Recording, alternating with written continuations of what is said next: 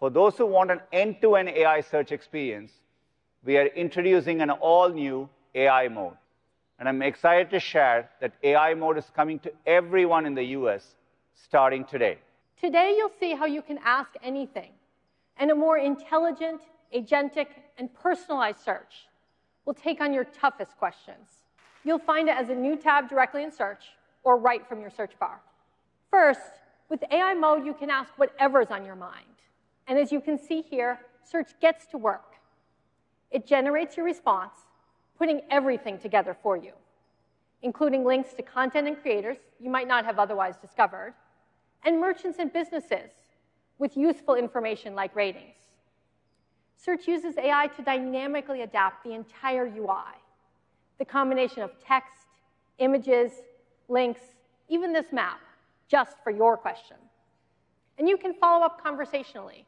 Soon, AI mode will be able to make your responses even more helpful with personalized suggestions based on your past searches.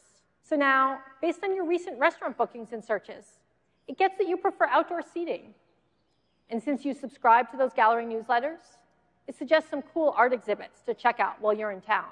Next, for questions when you want an even more thorough response, we're bringing deep research capabilities into AI mode. Deep search uses the same query fanout technique you just heard about, but multiplied. It can issue dozens or even hundreds of searches on your behalf. It reasons across all those disparate pieces of information to create an expert level, fully cited report in just minutes. It includes links to the web throughout, so you can easily explore and take action. Complex analysis and data visualization is coming this summer for sports and financial questions. So I'm a huge baseball fan.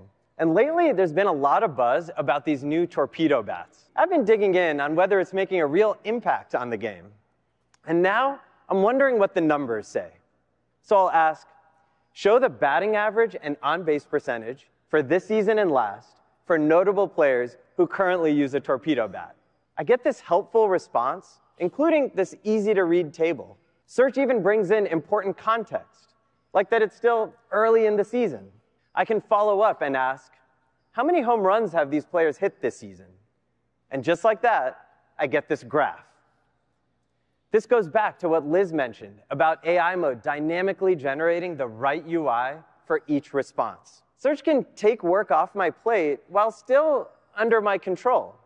I'll say, find two affordable tickets for this Saturday's Reds game in the lower level. Search kicks off a query fanout, looking across several sites to analyze hundreds of potential ticket options. I get great ticket options with helpful context so I can make an informed decision. Next, let's talk about multimodality. We call this Search Live.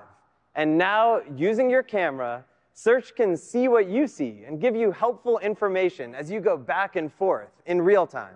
It looks like you're about to do a fun science experiment. All right. Ready, Anya? Ready, Adi? Yep. Okay. Are you ready for your science experiment? Yeah. Can you guess which experiment I'm trying to do? I have hydrogen peroxide and dish soap and yeast. You're likely going to make elephant toothpaste. How do I know which one of these strawberries is ready to eat? I'm trying to get this remote to work. It looks like someone is ready to get their hands dirty and plant a green bean seedling. Pump it to about 50 pounds per square inch, but don't go over 90 psi. I mixed uh, baking soda. What do I do next? It looks like someone tried dipping a finger into the cinnamon water. What should I do to make this even more impressive? You could try using a different catalyst. Potassium iodide is a good option. Whoa, why is it doing that? A ripe strawberry will also have a sweet smell. The green leaves at the top should look fresh and vibrant. The chemical reaction is going well. This is awesome. Thanks. Whoa! Can we do it again? Go!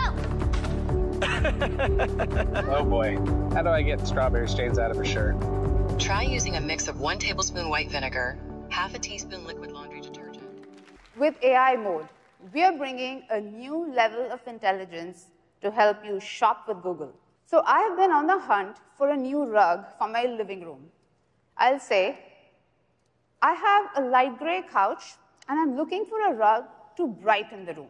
Search dynamically generates a browsable mosaic of images and some shoppable products personalized just for me. I have four active kids, and they like to have friends over. Search understands this involves plenty of messes, It recommends a low pile and washable rug made from durable materials, along with some products that I can shop. I want a few new dresses for summer. Search gave me some great options. But now, I'm faced with the classic online shopping dilemma. I have no clue how these styles will look on me. So, we are introducing a new try on feature that will help you virtually try on clothes so you get a feel for how styles might look on you. I click on this button to try it on. It asks me to upload a picture, which takes me to my camera roll.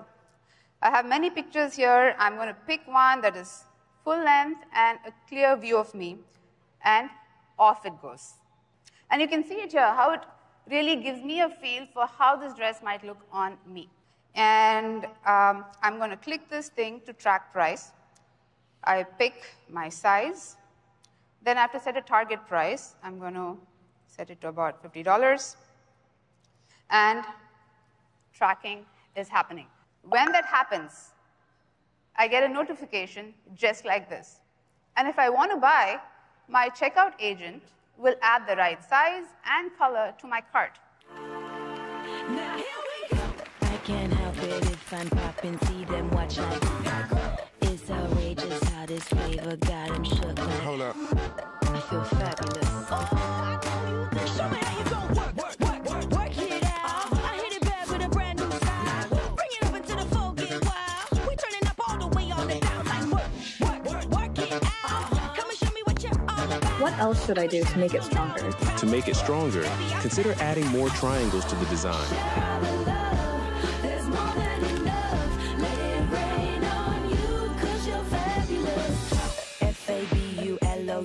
Every day like